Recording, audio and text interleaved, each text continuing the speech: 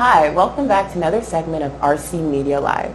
I'm your host, Kate Kira Bernard, and today we have a very special guest. Now, you know how we usually talk about the youth and we want to get to know the members here at Resurrection Center? Well, I have a special treat. With us today is Delliver. Hi. Hey guys, how you doing? You go by Del, right? Yeah, Del. Okay, so I can call you Del throughout the whole interview? Yeah, that's, that's cool. Cool, cool. So before we get into anything, for those who don't know you, because I have the pleasure of knowing him, Yeah. yeah. tell us a little bit about yourself. So, when did you start coming to RC? Um, about five years ago, I don't remember the exact date, but um, we were moving around and we were invited to this church for someone that we knew that was coming here. And the moment that we got here, we just never left, you know? so, I mean, it's been dope, you know, a lot of experiences, many years growing and everything, but I appreciate this church a lot.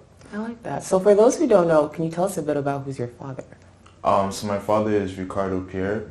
He's the pastor of the French ministry service here at RC. I love how you said that because you're like we came and we weren't sure first day we stayed and now he's the Yeah, now he's pastor. Know, God, God works in mysterious ways. He really does. Yeah. So you're here at Resurrection Center. Do you serve in any of the departments at RC? Um, currently, I'm in the youth praise teams, praise team, um, with uh, Riandra and Doyd. Okay, so tell us a bit about praise teams because we had some praise team members before. Yeah. And if anyone watches the morning service, you see the praise team. The youth praise team, what do you do on it exactly? Um, so I play drums. Um, I've been playing drums for a couple years. I took a break actually, and I came back and they welcomed me with open arms, and I appreciate them for that definitely. But um, the team is amazing. Actually, it's like a, it's more like a family than a team, and you know we're real with each other, and we we're working towards the same goal, which you know it's easier for us to communicate, and you know just growing together also in God and So you mentioned growing together in God. So one thing we like to talk about a bit is our like testimonies a bit or our walk with Christ. So do you mind sharing how you end up growing a bit with God? Because you mentioned you were a Um, pastor's kid, right? yeah. And I know sometimes definitely have your fair share of like ups and downs. So if you don't mind sharing a bit of your testimony, because I grew up in church too, so Yeah. I somewhat get the pressure. Okay, okay, okay. Um, uh, so yeah, so I grew up in church, you know. Um, when I was like around, let's say high school, is when life kind of started to hit a little different.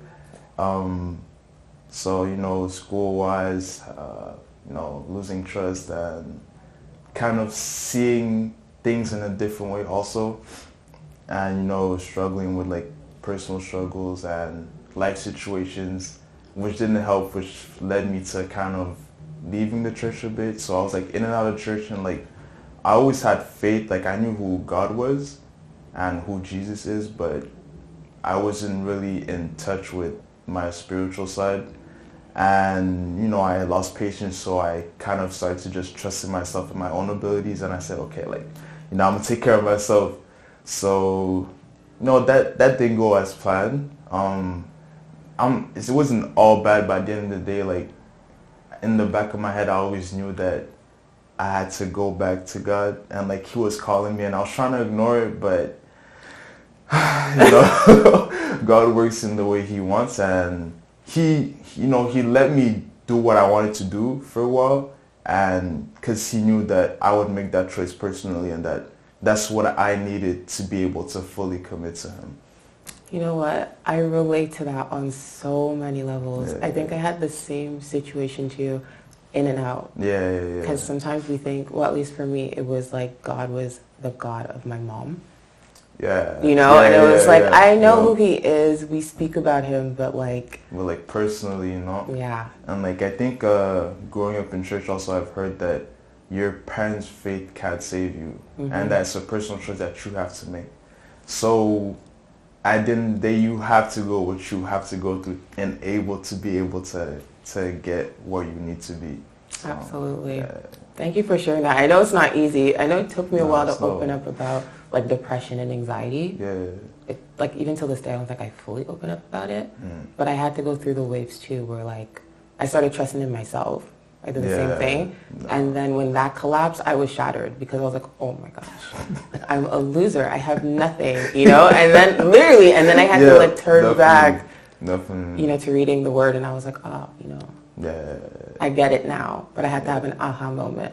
When was your aha moment, if you remember? Um, I guess it was a like last year.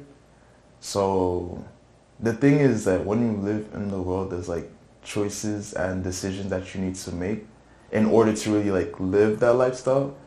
And the thing is, is like I'm a big family person, so there's a lot of things I wouldn't do because I'm like, how is this gonna affect my life and my family? Hmm. And I just found myself like in a cycle, and I'm like, I have all these dreams, all these goals, and like, I know I have a bigger purpose, but I'm just like spinning in the cycle, and like, I was lost. And like, I took this trip, and like, you know, it was a good time, but in the back of my head, I was just like, I just heard like God's voice, and I'm like, yo, like, this is, you know, when you're not thinking about Him, but He's just speaking to you Yeah. and like I didn't have a choice but to like acknowledge it. So when I came back from my trip, like maybe a week later, I leg- I just like went to my mom and I was like, um, you know, I'm trying to read my Bible again, but I don't know where to start. And I think like it made her happy in the sense that like I I came, to her, her. you know. It wasn't like her trying to get me to to read my Bible, but yeah, I made that choice and then I came to a prayer meeting on Tuesday where I got like a word and everything like it was crazy. It was crazy because like God's God really works in mysterious ways and like everything he does has a purpose and like you can't really understand unless he reveals it to you. So I got like great revelation and then the next Sunday was baptism and at first I was like, oh, it's okay. Like they already have the people. I'll wait till next time. And then Bishop just went ahead and said, you know what? It's open to anyone, Anyone? and everyone. And I was like, I was still like hesitant. I'm like, oh, it's open, but it's okay. I'll wait. And then I saw my brother go, and then I got convicted, and I was like, ah. Okay. I was like, yeah. and it's like the thing that I stand by on right now. is like when you make a choice or a decision, like stand on it, you know. Mm. And so, you know, I made my choice and I was like, okay, like, let me walk in faith and just see what God has for my life. Okay, you said so many things, which was so beautiful. First, when you mentioned the baptism, I'm like, that moment within itself was so beautiful. Yeah. Um, so it was a baptism that occurred a few. it was in December, like, uh, Okay, more than like months, the yeah. second Sunday or something like that. Right. It was like almost a year ago, but it was wonderful because we had people just getting up, Yeah. wanting to take Back that to step back of faith. Yeah. That was great. That And was watching great. your family. So you mentioned you're a big family person. Yeah. and you were afraid to make decisions because how would it affect your family. How Mm. many siblings do you have? This is for those who don't know. How many siblings do you have? So I have seven siblings. I have five sisters and two brothers. Blessing within itself. And within the seven siblings, eldest? Yeah, I'm the oldest. Okay. The eldest. So that Yeah. pressure must have been grand.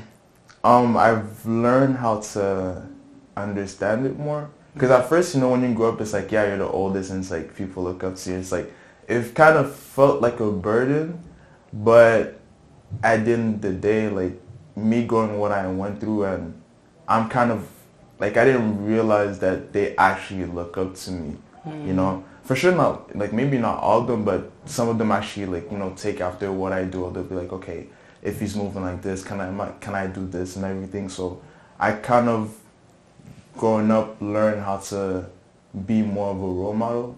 So it kind of helped me to okay like watch what I say, watch how I act, how I react, and everything. So, So yeah, yeah. if you can, if you, there's one thing you hope that your siblings would imitate from you, what would it be? Um, to be honest, just being humble and knowing that God has a plan for you. So do what you have to do, but just trust that God has you at the end of the day. I like that. Yeah, So I want to bring it back to baptism. You said you saw your brother go, yeah, younger brother that went up. yeah. Was there another sibling that also went as well?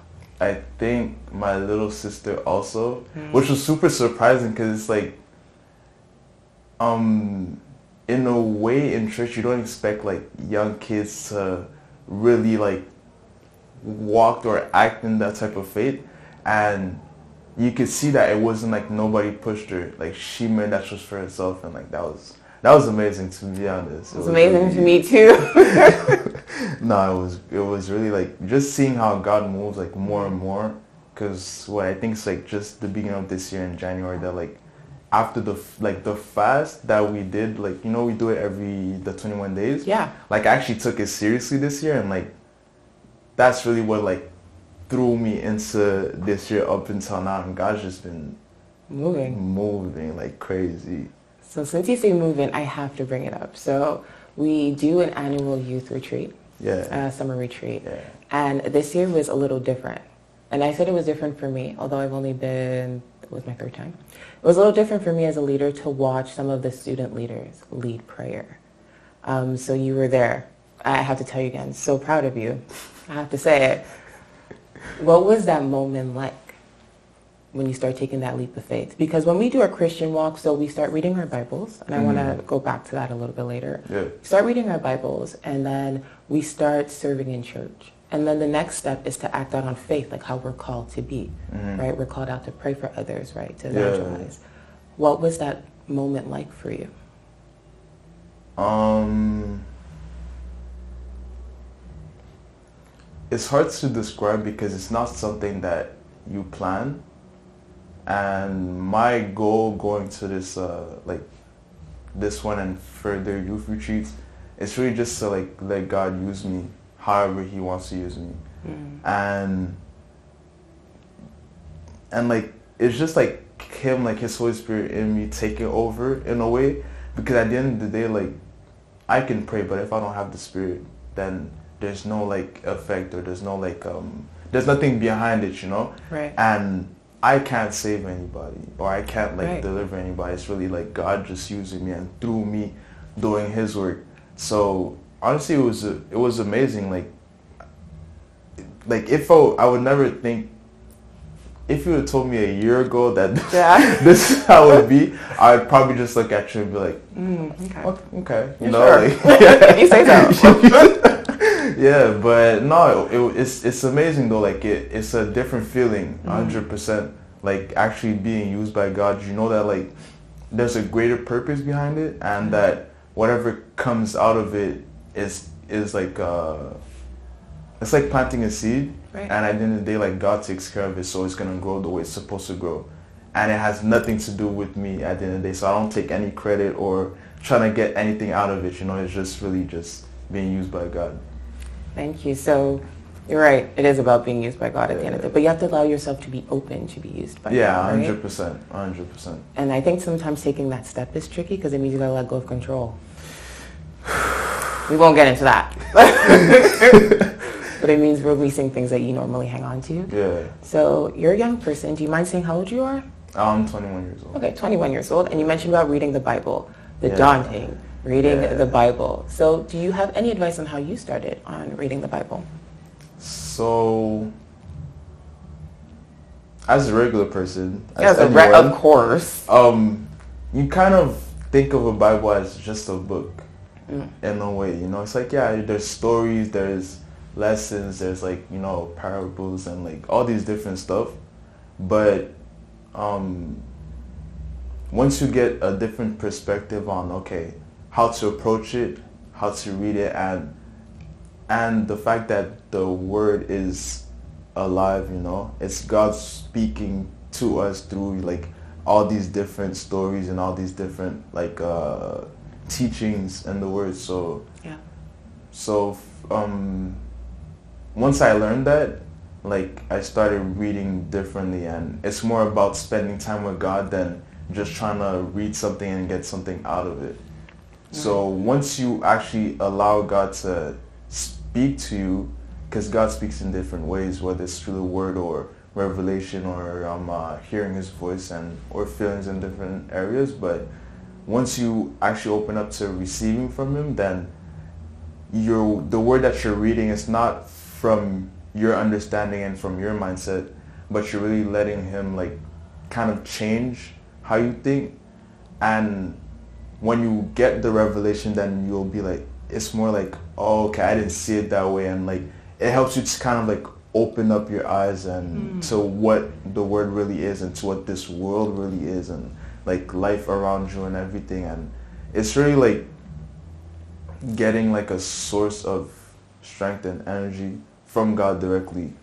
Especially like let's say if you read your Bible like during the day or in the morning so that if that's that's how you start your day then you know Right. you're starting on the right foot Right, and I'm glad you said that because a lot of times you're right, it is daunting. I remember the first, well, I'll be honest. The first reason why I started reading my Bible was because, again, born and raised in a church. yeah And like when I got serious with Christ, you know, everyone would quote these random scriptures. They're like, ah, and, you know, obey your parents. Like, you know what I mean? Because it's in the Word. You know, No, and it's it, used to drive me nuts because I'm like, what you mean? Yeah, So then yeah. I opened the Bible and I went Genesis to Revelations. And I was just reading to read it for myself, right? Yeah.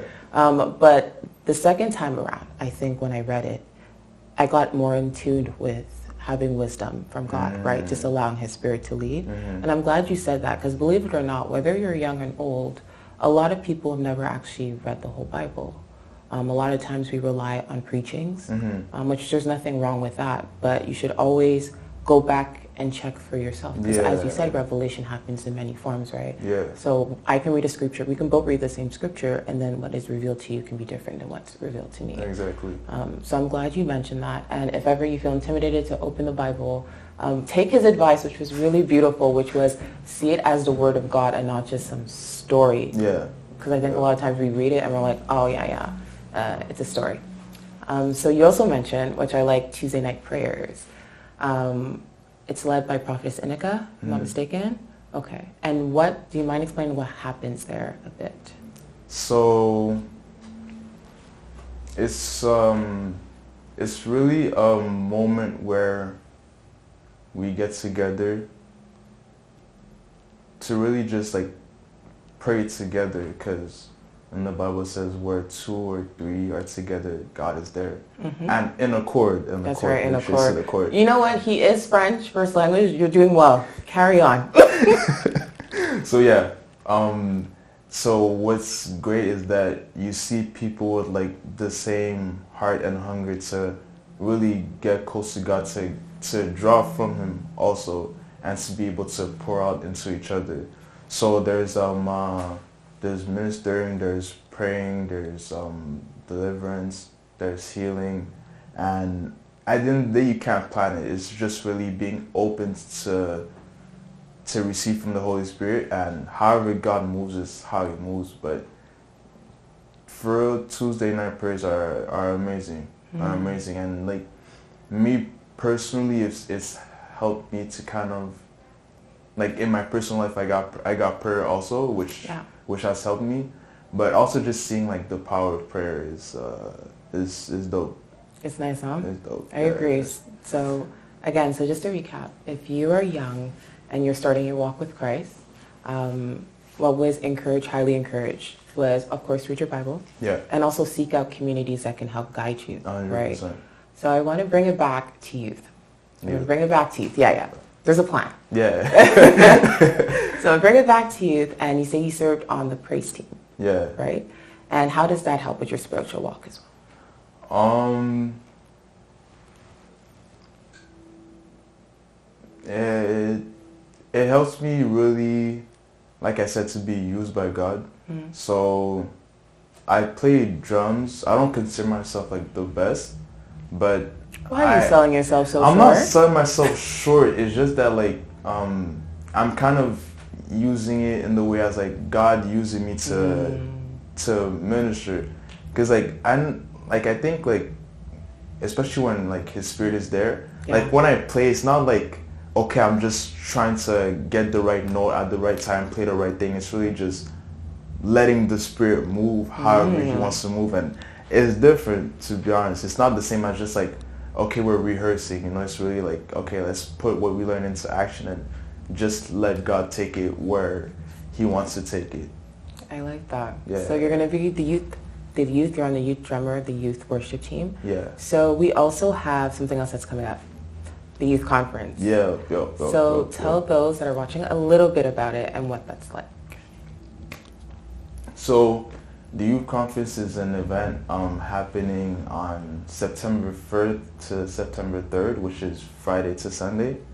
And basically it's uh, it's for everybody, so adults to young people, but it's really to encourage the youth to to know that you have a space to worship God openly and to get that connection from him directly. Mm. You know, so it's really like an open space where we can have a good fun time in God's presence to receive and also to to be able to let go of some things that we hold on on a daily basis, you know, and you know get your freedom and no, it's gonna be a great time. I encourage every young person, uh, parents, bring your children, Of course, yes. and and yeah, yeah, Awesome. So September 1st to the 3rd. yeah, exactly. Great. So transitioning. We know you as Del, worship, the youth worship drummer. Yeah, Also known you also for your wonderful walk with Christ. Yeah. Keep it up. Now talk it. a little bit about something you do on the side, which I don't know if many people know. So you're also like an entrepreneur. yeah. So um, entrepreneur artist. That's what I I rather call myself. Excuse me. entrepreneur artist. Um, I say it that way because I don't want to categorize what the talents and the gifts that God has used me, Amen. given me. Because He can bring me anywhere. He can use me to do anything He wants me Mhm. to do. So, uh, but currently I have a shoe customizing business, which is called World Styles. Um, hit me up on IG or look me up on uh, at World underscore Styles. like that. so what you do is you like design shoes. Yeah, so I'm uh, customized shoes designed so they can be like blank canvases or they can have like uh, designs already. They don't have to be brand new, but it's really to put your own creativity on a pair of shoes basically. And what brought me to actually starting that business is because like as a as a youngin also like there's a lot of stuff that we want like whether it's like brands or like you have a TV show you like or you know different things and being able to kind of make that a reality or something that you can actually wear kind of kinds of brings a happiness out of you also you know It does. that means you don't have to go buy like three thousand a three hundred dollar pair of shoes or like six hundred dollars and like you know you could get like a, a decent decent price and get what you want at the end of the day. So yeah. I like that. It's really cool. Only you guys can see his shoes now. They're, they're really cool. got I gotta rock them every day. Every As day, you should. Every day, every day. Are you working on something else that you haven't said yet or that you want to share? So I do have a brand that I'm working on and different projects that I'm working on also. Uh, something that I've recently committed to is uh, on music. So not everyone knows that, but I do write music and Hmm.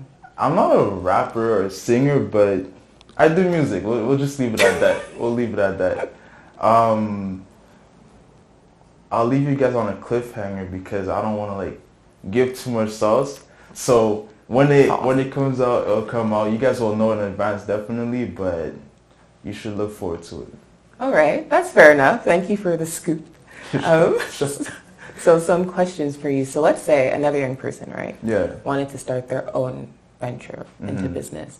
What is one advice you would give them? One advice is find something that you're good at and that you enjoy. Because you don't want to to throw yourself into something that's gonna become like like it's like um let's say you like art but it's not your passion. Mm. Let's say you throw yourself into art venture and you're like you're gonna make a business off of it. It's gonna feel more like work than something you enjoy. And that's not something you wanna unless it's like short term, Right. it won't be something that you want to pursue long term. So um, uh, and pray about it definitely. Put it in God's hands and let Him take care of the plans and how it's gonna go. And all you have to do is just do the work. Trust God and do the work. I like that. I also want to know. So there's business, of course. Yeah. Good advice. Great advice. So in case you are unsure of how to get started, I like that, especially prayer. Yeah. Definitely helps. Yeah. Now let's say they're about to start it, they found the passion, prayed about it, and they're dealing with fear. Because you have to have you have to be vulnerable a lot of times when you're releasing this out, you know, to criticism. So True. do you have any words of wisdom for that? Um. So I'll put it together with prayer, as in to ask God to give you the confidence to be bold and to not be afraid to put yourself out there. That making mistakes is not a bad thing, but you can turn your losses into lessons and grow from that and move forward. So, because if you're scared to make mistakes, then you won't be able to push through some walls. And at the end of the day, you know what you're good at, and God gave you that gift for a reason, and you have a purpose. So, don't let anybody keep you from fulfilling that. Thank you so much. Thank you so much for being with us today, No for problem. joining No us. problem. Appreciate it. Again, it's Adele. Yep. Shout out your Instagram page one more time. So um, my page you can find me at kd.world, W R L D, you know, on Instagram and yeah, hit me up.